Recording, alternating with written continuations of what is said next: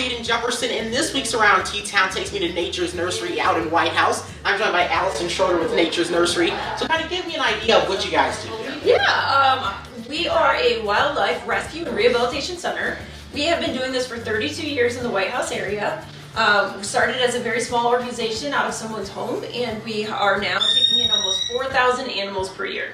So you guys are very busy. We are very busy, and this time of year, it's all ramping up. It's baby season, so um, we are starting to take in baby squirrels. Soon will come the bunnies, the opossums, the birds, and it will be literally raining babies around here between now and October. And there are kind of two sides to the operation you have here, the rehabilitation as well as the education. Correct. So the education part is that we have about 30 education ambassadors and those are animals that were um, unable to be released for whatever reason. They weren't going to be successful in the wild. So we have a special permit to be able to keep them, and we take them out to schools, we take them to scout groups, we take them to events, and we use them to teach people in person about wildlife, about conservation, about the role that they play in the environment.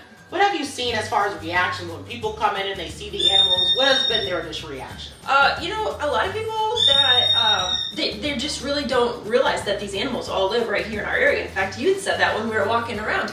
Like they didn't realize that there's there's wild fox in this area, that there's owls, that there's flying squirrels, that these things all exist right here up in our trees. They're around us, and we uh, take those opportunities to teach people what to look for and how to find them in nature.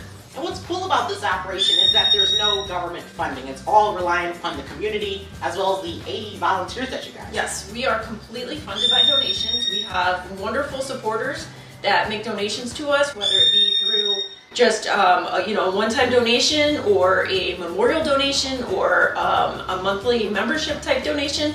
And then we've got 80 volunteers that come in and, and they give, uh, sometimes it's one day a week, sometimes it's several days a week. And they give their time, which is the biggest gift they can give, to be able to help us pull all this off. And how can people find you guys online as well as your physical location if they want to be a part of your efforts? Yeah, if they go to uh, naturesnursery.org, that's our website. There's lots of links and information on there. We've also got a wonderful Facebook page that we update several times a day with lots of fun pictures and information. We're not currently open to the public, um, but we are out here in Whitehouse. If you find an animal in need, please reach out to us. We'll walk you through the steps to be able to get that animal to us so we can take care of it. So definitely reach out to Nature's Nursery. Definitely a great organization, great work that's happening here. But this week's Around T-Town, I'm Jaden Jefferson.